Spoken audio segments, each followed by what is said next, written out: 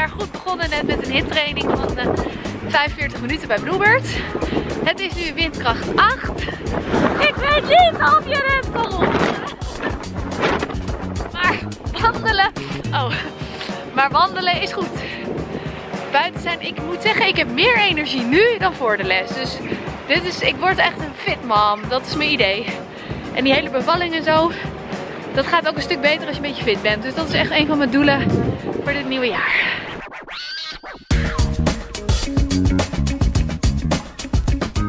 Ik ben nu echt mega goed op aan het letten sinds die hele zwangerschap wat ik allemaal eet. En um, ik was een tijdje wat zwakker. En dit is wat mij er bovenop heeft geholpen. Dit is vloeibaar ijzer. Heel veel vrouwen hebben uh, bloedarmoede. Hè? Ik weet niet of je dat ook wel eens hebt laten testen. Ik heb het zelf heel vaak. Dat zit gewoon in mijn systeem. Verder prima. Uh, alleen van pillen, vertelde die vrouw me, ijzerpillen, neem je vaak niet alles op in je bloed. En van dit spul dus wel. Uh, dit heet nano-ijzer. Je kan het ook online bestellen. Dit dus. En um, sinds ik dit neem, voel ik me echt stukken beter. En toen, ik, toen het op was, voelde ik me meteen zwakker worden twee weken lang. Dat is echt bizar. En het smaakt gewoon naar water. Dus het is niet zo'n vies stroperig ijzerdrankje, maar het is gewoon water. Maar ik snap alleen niet zo goed hoe het ik probeer uit te leggen hoe, hoezo het naar water smaakt en hoezo er ijzer in zit. Hier staat volgens een unieke methode mineraalwater met monoatomisch, diatomisch en nano. Goed. Hoe het is gemaakt maakt niet uit, maar het werkt dus als een tiet. Dus als jij in deze winter ook last hebt van, bel nu! en verder slik ik um, gewoon zwangerschapsvitamine erbij.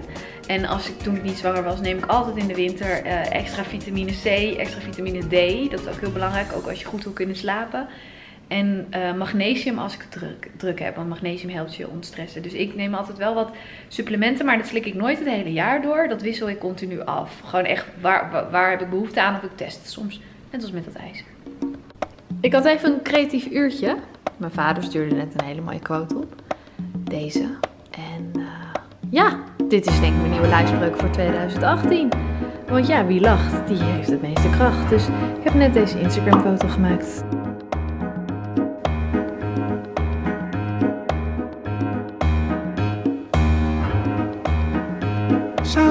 Up on that wall is just going to spend the night. Nou, even tijd voor een buik-update. ik ben nu uh, 14 weken zwanger.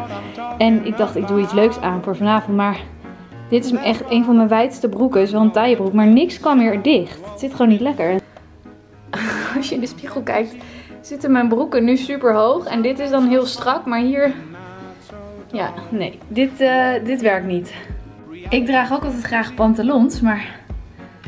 Ik wil gewoon niet de hele tijd die zwangerschapsspijkerbroek aan. Nou, dat wordt dan tijd voor...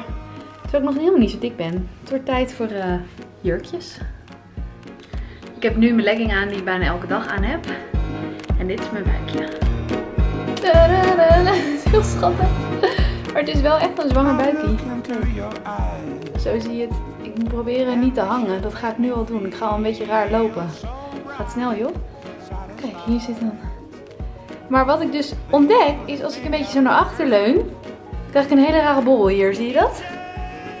Dit is de baarmoeder. Die, oh, die steekt uit dan.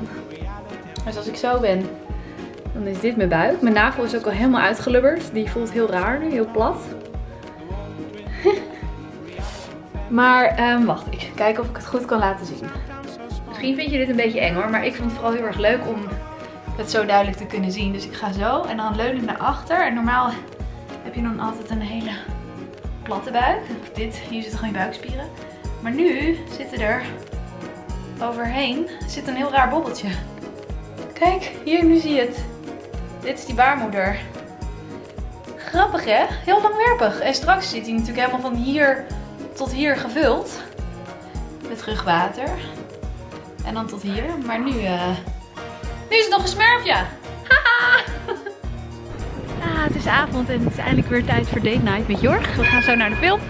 Oh, Jorg. En we gaan nu eten bij Golden Temple. Wat echt, daar kan je zulk lekker, hebben zulk lekker eten. Dat is dit tentje.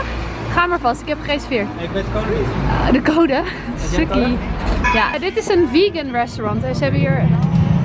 Wat? Dat is fucking. Oh ja? Vind je het gênant? Ja, ik vind het Oké, dan ga ik niet vloggen. Zo, wat ik dus aan het zeggen was, we zitten nu hierboven. En uh, het is een beetje veranderd, want eerst zat je hier echt op de grond. Een beetje zoals in Thailand en zo. Nu zitten we zo op lage tafeltjes. En ze hebben hier dus echt heerlijk eten. Heel veel Indiaas, heel veel uh, vegan. Maar het is echt zo lekker. Het is niet zozeer een hippe tent. Het is vooral een tent waar je heel lekker kan eten. En straks gaan we naar de film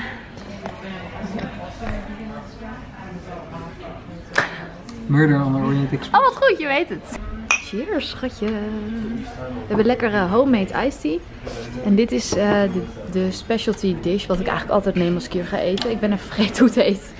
Maar uh, dit zijn eigenlijk alle lekkerste gerechten, maar dan uh, in kleine hapjes. En dit lijkt misschien niet superveel, maar trust me, het is heel machtig. That's why my soul I never said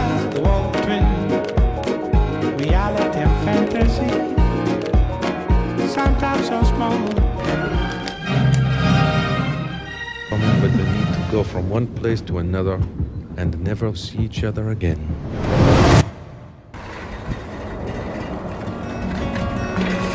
Het leukste stukje om te fietsen s'avonds door Amsterdam vind ik altijd hier. Op weg naar huis. Over de magere brug. Met alle gezellige lampjes. Mijn lieve man.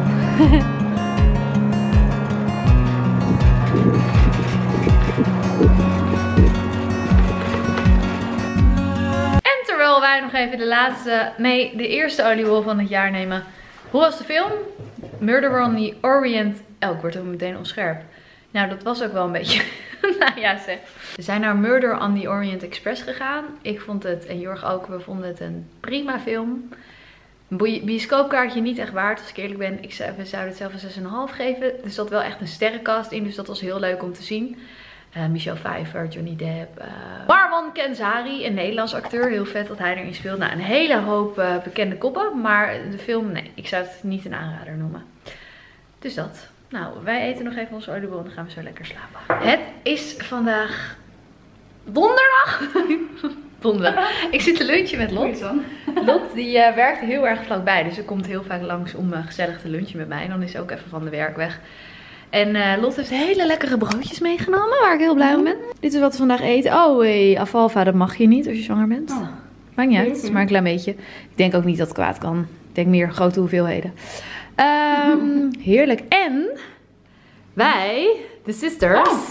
Uh, en we zijn helemaal blij, want we gaan over een paar dagen. Week, ja. Is het volgende week al? Nee. Nee, over twee weken. Gaan we naar Londen! Ja! Vet veel zin in. Ja. Uh, we gaan allebei een vriendin opzoeken die in Londen woont. We dachten we combineren het gewoon. Dan kunnen we lekker op vrijdag. Uh, gaan we samen in ieder geval naartoe en ja. dan gaan we terug. Oh. En Lotje is ook echt, of Charlotte. Ik zeg als Lotje, maar dan weten mensen misschien nog niet dat je Lotje heet. Maar wij zijn altijd heel erg van de uh, hotspot zoeken. Dus we zitten nu al de hele tijd uh, te kijken van wat zijn leuke nieuwe dingetjes, plekjes. Wat moeten we echt gezien hebben? Ja. Let me know in de comments, want dan gaan wij, ja. er, gaan wij erheen, gaan wij checken, gaan wij het vloggen. Nu al zin in. Nou ja, wij gaan even eten. Is er in slaap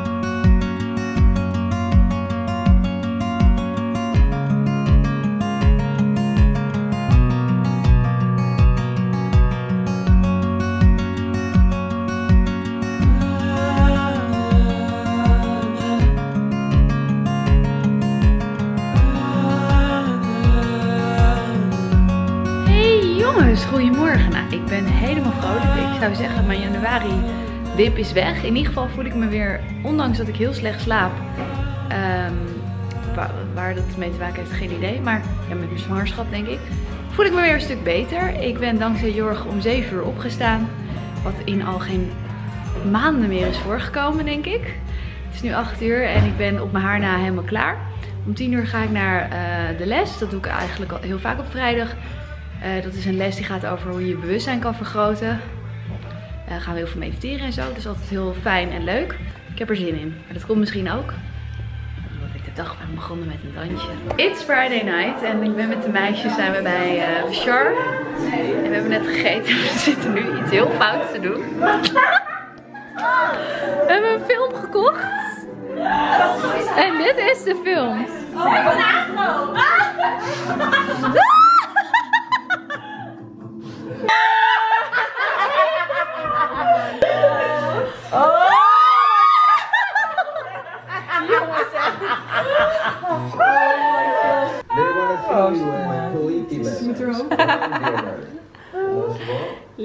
Word je lekker mee aan het knuffelen? Hallo. Ja, het is zaterdag. Tijd voor een massage.